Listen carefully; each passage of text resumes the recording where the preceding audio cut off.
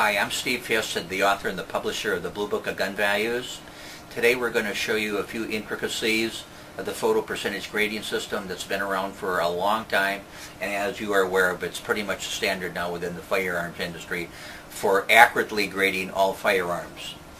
Today a lot of you guys out there will already recognize that this is a model 1897 Winchester and I'm not sure if you can see it from this angle but it probably appears to look pretty shiny and black, almost too shiny and black. And that's because this gun has been reblued. At which point in its um, history, we don't know. But the rebluing job on this gun is really pretty poor. You can see the overall shininess. If you look at it carefully, the corners where they're supposed to be sharp are rounded somebody took a polishing wheel when they were rebluing this gun and just went over it real fast. This was one of these um, get your gun reblued for 20 bucks by next Friday at a gun shop probably in circa 1960, 1970.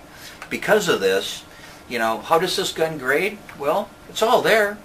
How can you um, fault the gun? You have to call this gun 100% refinished. And this is a poor refinish. This has not been refurbished. This has been refinished.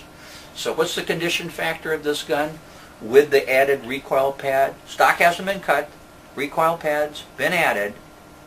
Wood's been refinished. Metal's been completely reblued. The action on this gun is as good as it was in J1.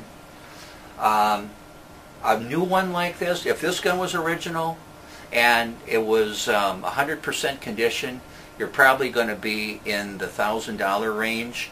However, the way the gun is right now and the fact that it's been poorly refinished, the current value is only $200 in today's marketplace.